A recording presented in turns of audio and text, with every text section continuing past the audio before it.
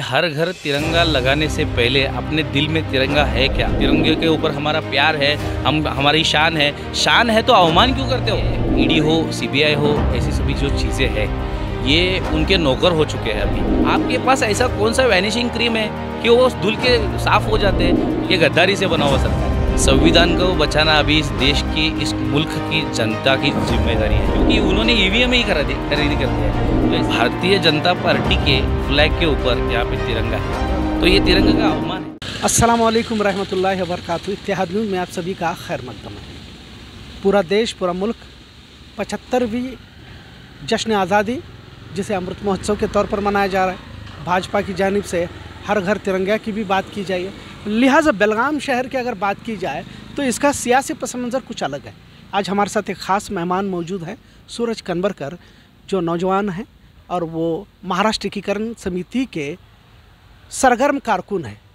एक और ख़ास बात यह है कि इनकी तीसरी पीढ़ी, यानी कि तीसरा थर्ड जनरेशन के साथ वो आज भी महाराष्ट्र एकीकरण समिति के साथ जुड़े हैं। इनका ख्वाब है कि मराठी की तादाद यहाँ पर बहुत ज़्यादा है, कसीर तादाद में पाई जाती है। लिहाजा हमें बेलगाम को महाराष्ट्र में शामिल किया जाए, शमूलियत इख्तियार की जाए और वो जिस तरह से गैर कानूनी परचम लगाने को लेकर भी वो अपनी एक तहरीक छेड़े हुए लिहाजा सबसे पहले सर आपका खैर मकदम इस्तकबाल सर।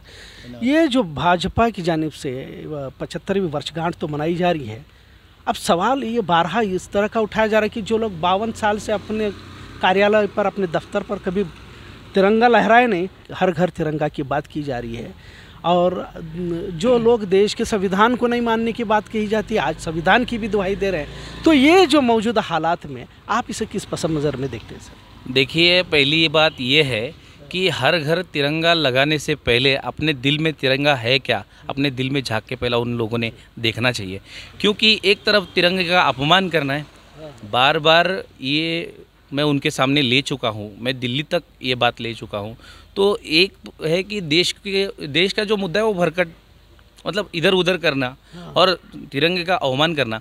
अभी जम्मू कश्मीर में एक सेकेंड फ्लैग था उन्होंने वहाँ पे हटा दिया। लेकिन बेलगाम में सेकेंड फ्लैग सेकेंड फ्लैग क्यों चाहिए? कर्नाटका में सेकेंड फ्लैग क्यों चाहिए? इससे देश का बंटवारा हो जाएगा।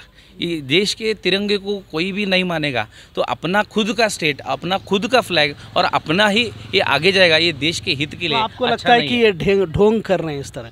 अभी एक दिल में प्यार है एक दिल में क्या है वो उनको ही पता। लेकिन मैं तो देख रहा हूँ कि इतने सालों से उसका मैं पाठ पुरोता करके आया हूँ लेकिन उन्होंने कुछ भी नहीं किया। तो मुझे ढोंगी लगता है कि जिस तरह से वो जो कहते हैं कि हमारा तिरंगे के ऊपर मैं खास करके कर्नाटक का बात कर रहा हूँ हम हम पे तिरंगे के ऊपर हमारा प्यार है हम हमारी शान है। शान है तो अवमान क्यों करते हो? मेरा एक ख़ास सवाल है और आप एक फ्लैग कोड आप देख देखना चाहोगे तो उसमें एक है कि जब तिरंगा लहराता है तो उसके सामने कौन सा फ्लैग नहीं रहना चाहिए।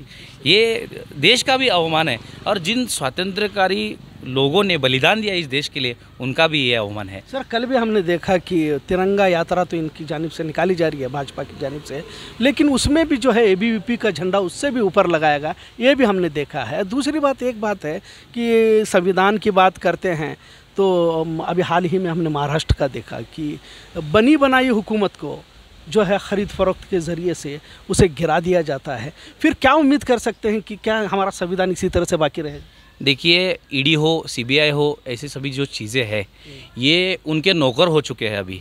मतलब भाजपा के या फिर अन्य कोई कार्यालयों में जो कोई भी अपना जो टेबल साफ़ करने वाला वार्ड बॉय रहता है ना, ऐसे ही इस यंत्रणा का यूज़ हो रहा है। और जो जो मंत्री महाराष्ट्र के सियासत में थे, इसके पहले, वो मंत्री उधर चला, चले जाने के बाद में उनकी चौकसी नहीं होती है, उनकी इंक्वायरी नहीं होती है। इसीलिए बाला साहब ठाकरे ने उस उस टाइम कहा था कि हमारे पास आए हुए लोग, वो बदनाम है। आपके पास ऐसा कौन सा वैनिशिंग क्रीम है कि वो धुल के साफ़ हो जाते हैं? तो ये देश को सभी पता चला है, खास करके महाराष्ट्र एक सांस्कृतिक राजधानी है। इस देश की मुंबई एक खास करके आर्थिक शहर है, मुंबई और महाराष्ट्र, ये सब बात भूलेंगे नहीं। आने वाले चुनाव में मुंबई महानगर पालिका के और महाराष्ट्र की जनता दिखा के देगी सर, ये आपने जैसा अभी महाराष्ट्र का ज़िक्र अगर निकला है तो एक बात मैं बताना चाहूँगा। कि जिस बाला साहेब ठाकरे ने मराठी मानुस, मराठी अस्मिता की बुनियाद पर जिसको खड़ा किया था, अगर वहाँ से भी लोग टूट कर उस तरफ़ जाते हैं तो कहाँ कमी रहेगी? सर, हम भी बेलगाम में भी देखा कि साठ सत्तर साल से एक लड़ा, मुस्तकिल लड़ा गया जा रहा है और यहाँ से लोग मुंतकिल होकर दूसरी पार्टी में जाते हैं, राष्ट्रीय पार्टी में जाते हैं और असल एजेंडे से हट जाते हैं तो कहाँ कमी रहेगी? नौजवानों को कहाँ समझाने में कहाँ चूक गए, सर?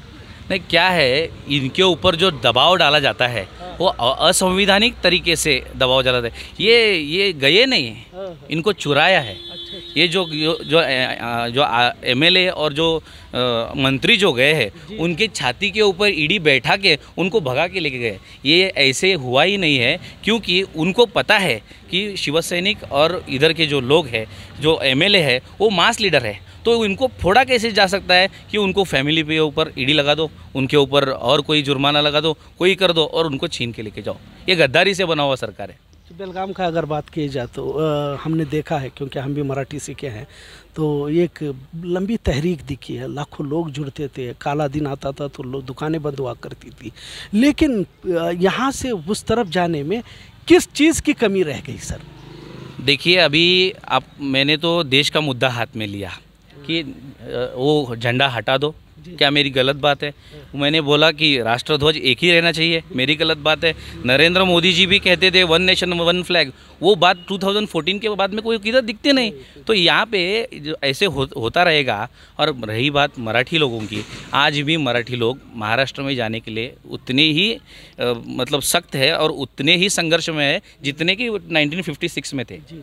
और इसलिए कि कोई ऐसा कुछ नहीं कि क्योंकि इतना बड़ा जो लड़ा है हम इसको संघर्ष कहते हैं साठ साठ सत्तर सत्तर साल चलाना ये किसी मतलब मामूली, मामूली बात नहीं Guinness Book of World Record ने भी इसकी नोंद की है। सर अगर संविधान की बात की जाए तो जिस तरह से आपने अभी बताया कि E D I T income tax अगर सत्ता से सवाल करो तो देश विरोधी कहा जाता तो जाता उनके कार्यकर्ते हो चुके हैं अभी। तो वह भाई तो अगर ये ऐसे हालात में संविधान को किस तरह से बचाया जाएगा सर? नौजवानों को क्या पैगाम देगी? संविधान को बचाना अभी इस देश की इस मुल्क की जनता की ज़िम्मेदारी है। क्योंकि इस तरह से कोई होगा वोट्स खरीदना बाला साहब ठाकरे ने कहा था we are the slaves for vote तो ये बात मत के गुलाम हो चुके हैं ये लोग।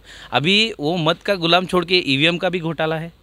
ईवीएम अभी मत खरीदी की खरीदने की भी ज़रूरत नहीं है क्योंकि उन्होंने ईवीएम ही करा दिया खरीदी कर दिया है।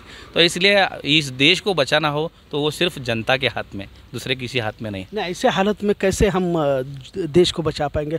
क्योंकि हम मशीन को वोट दे रहे हैं और मशीन बीजेपी को वोट दे रही है। इस तरह से एक समीकरण जो बनता जा रहा है कहाँ टूट सकता है सर मैंने लोकसभा के चुनाव में भी शुभम शेड़के के उस बारे में मैंने कहा था। मैं वीडियो भी बनाया था। अमेरिके अमेरिका जो देश है ये सबसे बड़ा देश है और वो सबसे ताकतवर है। उसने कहा था कि ये मशीन है, इसके साथ छेड़छाड़ हो सक हो जा सकती है। तो इसलिए उन्होंने आज भी बैलेट पेपर के ऊपर उन्होंने चुनाव जीते हैं, चुनाव लड़ाई है। तो मैं इस देश से कहना चाहता हूँ कि आपका वोट आपके ही इंसान को गिरना चाहिए तो ज़रूर बैलेट पेपर का पुनर्श इस्तेमाल होना चाहिए। कि मैंने फेसबुक के ऊपर पोस्ट किया है। भारतीय जनता पार्टी के फ्लैग के ऊपर यहाँ पे तिरंगा है। हाँ, हाँ। तो ये तिरंगा का अवमान है। तो किस तरीके से किस तरीके का घर के ऊपर हम फ्लैग लहराएँगे? हमें तो अभिमान है हम तो लहराएँगे। पंद्रह अगस्त को ही नहीं हर टाइम में हम लहराएँगे। लेकिन अवमान करके लहरा रहा है इसमें कोई बड़ी बात है।